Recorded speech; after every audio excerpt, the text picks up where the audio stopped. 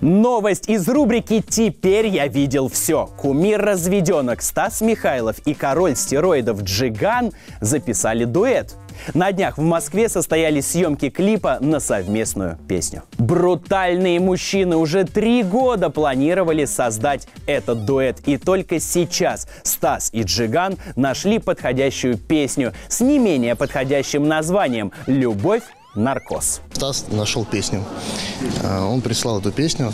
А я сказал, что у меня есть еще лучше песня. Вот. И мы послушали и пришли вместе коллегиально к решению, что нужно делать э, именно вот эту песню.